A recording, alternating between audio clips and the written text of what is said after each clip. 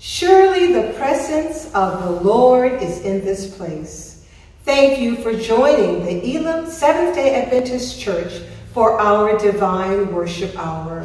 On behalf of our pastor, Dr. Ricardo Bain, and the members of the Elim Seventh-day Adventist Church, we say thank you. Thank you to Pastor Edward Carr from the Ephesus Seventh-day Adventist Church in Bainbridge, Georgia, for blessing us with our message today.